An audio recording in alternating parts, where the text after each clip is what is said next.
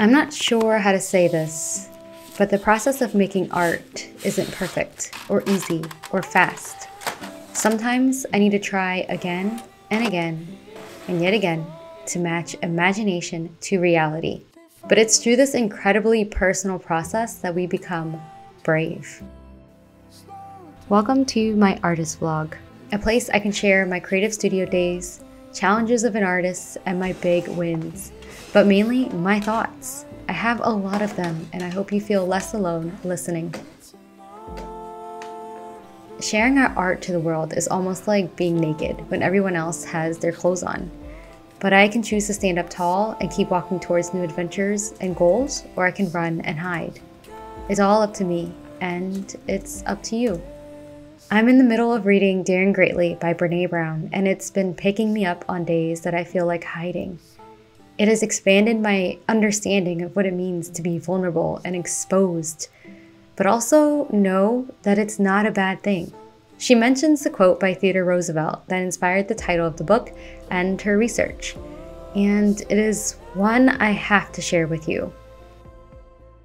It is not the critic who counts, not the man who points out how the strong man stumbles or where the doer of deeds could have done them better. The credit belongs to the man who is actually in the arena, whose face is marred by dust and sweat and blood, who strives valiantly, who errs, who comes short again and again. Because there is no effort without error and shortcoming, and who at the worst, if he fails, at least fails while daring greatly. Seriously, this is what happens when you work by yourself. You just end up talking to yourself. The best conversations talking to myself. Am I still recording? Yes, I am. This week was filled with moments of both highs and lows. Moments I felt proud, and moments where I felt uninspired. Like I was in the arena, too. I had successfully converted my first comic into an Instagram post and shared it. I did a little prayer and crossed my fingers before I posted it to make sure that it would reach the right people. And of course, get higher likes because that means it's better, right? As it finds its place among the many Instagram feeds of people all over the world, I focused on one thing an illustration I started too long ago, about two weeks too long. It was a good distraction, and I finished it a few hours later with a big smile on my face. I challenged myself to think outside the box and be okay with exaggerating proportions, colors, and things that normally don't go together. I struggle with the idea that my art needs to make sense and I think that it takes away from the magic of our imagination.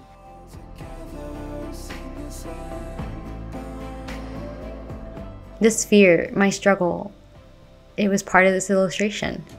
It told a story about a little bunny who was so scared that she hid underneath a leaf of a towering flower. She vowed to stay there until fear went away, and she was willing to wait a long time. But the little bunny's biggest cheerleader, the bear, lifts the leaf from the bunny and reminds her that she has to choose to rise from her fears, that it's time to reveal her crown to the world, even if it didn't make sense.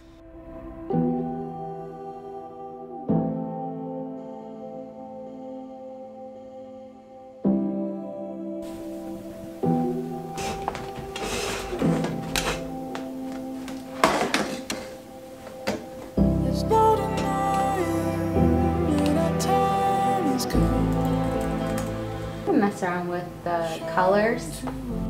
Oh my gosh, this is so pretty! ah! Added the arch and it looks so cute. I want to mess around with this some more, but I think it looks so good. See you in a.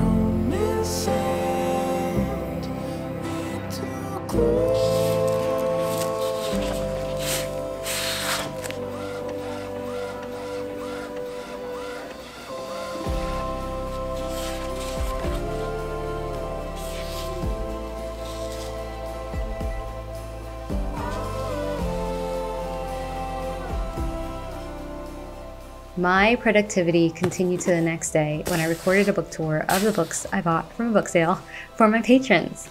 It still feels a bit weird to talk to the camera, but considering that a few months ago I was deathly afraid of it, and year before that, I avoided it every chance I got. I even tried to charge a sponsor more money to show my face. So today, I am proud of how far I've come, and I want to invite you to meet them and join me behind the scenes too. These book sales, oh my gosh, I love books. I love, love, love, love, love books. The only thing is, I have. Do you know some people they can watch movies and they can recite lines from movies just off the top of their heads? Well, I don't remember the movies I watch, and I only remember a few lines from books that I read, lines that really stick to me. The next day, I started the morning reading the last chapter of Steal Like an Artist by Austin Kleon. This book is absolutely amazing and it is a great source of inspiration if you need it. In the last chapter, he writes that the way to get over creative block is to simply place some constraints on yourself. It seems contradictory, but when it comes to creative work, limitations means freedom. After hearing that, I built my makeshift desk out of throw pillows on the kitchen counter and I got to work. Actually, I picked up my Apple Pencil and then I gave up. There's a detail I didn't tell you about that particular morning and the day before, and I'll tell you as I imperfectly art journal some goofy illustrations and process my thoughts the day after the uninspired day, the day I gave up. After I shared my book wins on Patreon, I also shared a post I was so proud of on Instagram. And it didn't do as well as any of my other posts. If you decide to go looking for this post, I have to first tell you that some of you might think it's not bad at all and that I'm out of my mind. So I have to tell you that it wasn't about the actual number. That Instagram post made me realize that I might not be able to fulfill my goal as soon as I expected. I expected a linear growth, higher number than before, better, but it was actually worse. And I checked it first thing in the morning. And then I fell into the scrolling rabbit hole, comparing my life and work to others yet again. It's part of my perfectionism habits and it's something I talk deeply about in my past videos and on my website. And I have been able to unlearn this habit the majority of the times, but I still go through it sometimes. Someone once said that we spend our entire lifetimes unlearning habits we learned in childhood. This is an example. I felt like I wanted to quit. I felt uninspired. I felt like I wasn't good enough. I wanted to run and hide. I was embarrassed. I wanted to delete that post. And because it fell short, it meant that I fell short. It was also the part that I stopped recording. I didn't plan on sharing such an unproductive day in this video, but now I wish that I recorded what I did, what I thought, and what happened. So Maybe in the future I will have the courage to do so. But for now, I'll just tell you what happened as I work on my tote bag design. Yes, I am designing a tote bag. What? It's for my shop launch happening very soon. So sign up to my email list to hear more stories and stay in the loop. Okay, anyways, so what happened on the day that I was feeling uninspired and unproductive? How did I get here? Happily designing away? Well, when I shut off my camera, I actually went back to scrolling some more. It didn't feel good, and I was exhausted from absorbing so much information, and my thoughts just kept coming. Not so good thoughts. And they just kept me scrolling more and more and more. It was like an addiction or an obsession. Imagine that there are two me's, one on my left shoulder telling me to keep scrolling, my inner critic saying you're not good enough, happy enough, or wealthy enough, and then my other me on my right shoulder, tugging my hair and my ear, hoping to get my attention and listen, telling me to stop scrolling and go do something to give my mind a rest. I can't remember how long had passed, but I was so tired that I had to stop and I finally felt the little me on my right shoulder yanking me out of it, enough to get my sneakers on and go for a walk. I know it sounds super weird and crazy, like I'm crazy, hence why I stopped recording, but years of practice helped me with the most important thing that day, and that's awareness. I wasn't blind to the fact that I was scrolling, I was literally fighting myself. And this awareness is what pulled me out. My eyes also started screaming at me to look at something real, After walking for 45 minutes, I felt like I've been reset. Like I've created space between the inner critic and me and I accepted that it happened and it's okay. It gave me a moment to rest and reset and to really deal with some of my deep thoughts. to change I'm not good enough to I'm doing my best and how can I help someone today? And for the rest of that night, I just enjoyed the time I had. I wrote down what I wanted to do the next day and I was okay. Hello. I need to go grab my jacket because it's, I think, about 64 degrees in here. Actually, not sure. I, I have goosebumps right now. Goosebumps, can you see goosebumps? Look at that. Yes, so cold in here. Heating is I mean, my logic is, why would I turn on the heat when I can just wear a jacket? Save some money right there.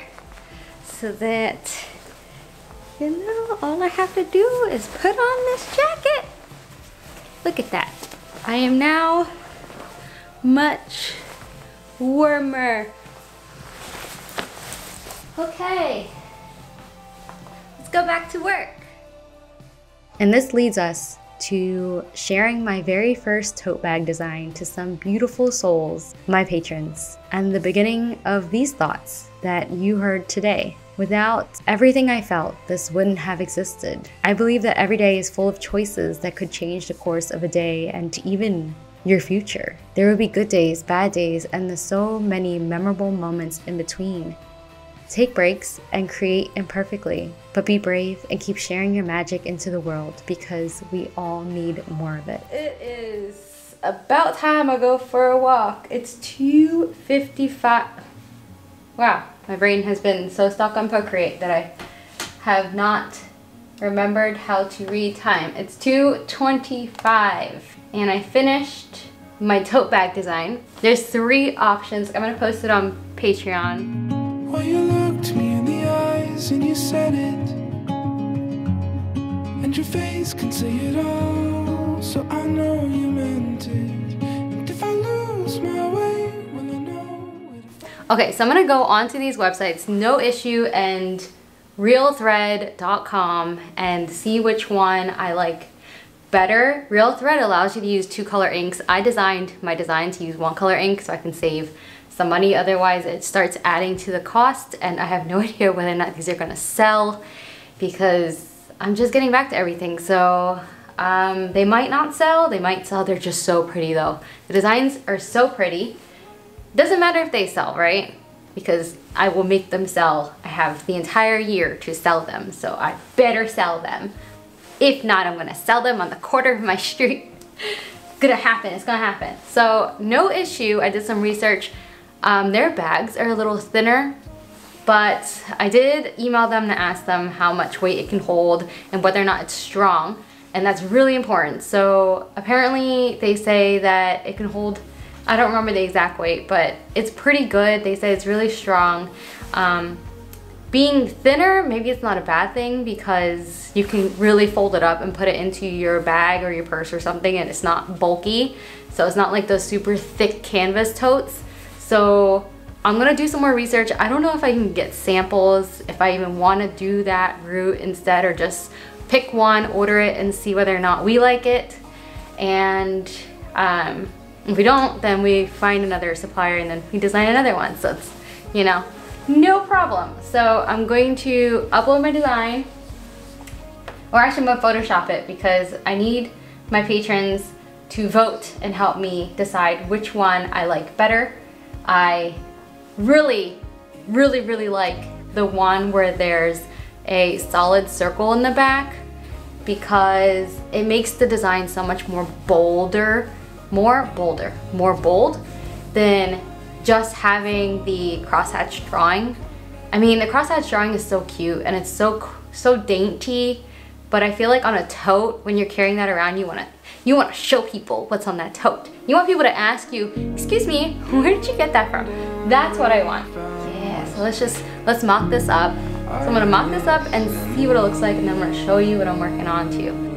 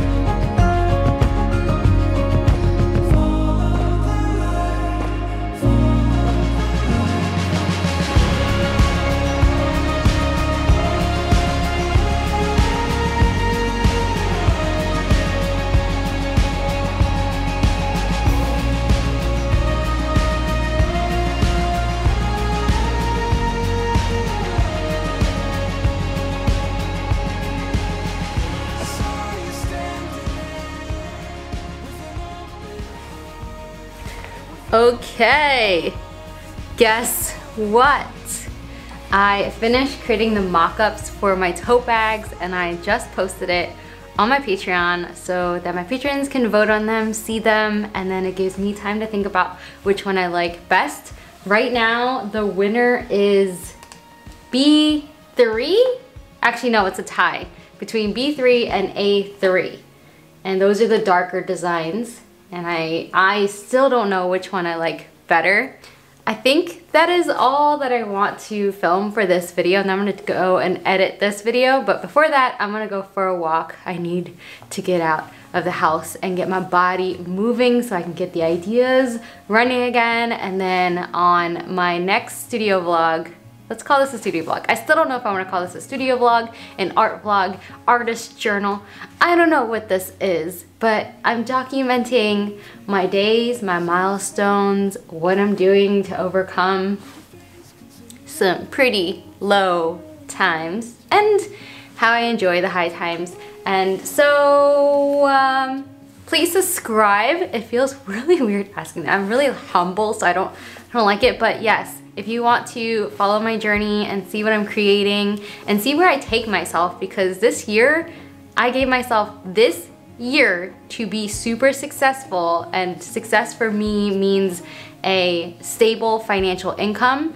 It means being able to take care of my mom and buy her a brand new SUV. Like that's, oh my gosh, if she's watching this, I hope she, she does not watch this part. But she most likely will. So you can just say hi to her in the comments. But I would love to just buy her whatever it is that she wants and buy me whatever I want. And uh, I'm really frugal, so normally I don't buy a lot of stuff. I like to sell things, make money, and then, you know, towards the new stuff. But anyways, that's my goal this year. So if you wanna follow along, please subscribe, hit that bell notification button, and join me on my journey. Sign up for my email list on my website. Go check out that thing I spent so long working on that, all the details in there. Imagine me like just doing that. So go check that out and enjoy the world that I'm creating. And yeah, I'm excited. I'm so excited about what's in store and I'm gonna work really hard and really smart to get where I need to go. And I really hope to inspire you guys while I'm on this journey because I want everyone everyone to do everything that they ever dreamed of doing and not being afraid of doing it. So thank you for watching today and I hope to see you next time. Come join me, come join me, come join me on Patreon, come join me everywhere, just come join me and I'll talk to you guys later.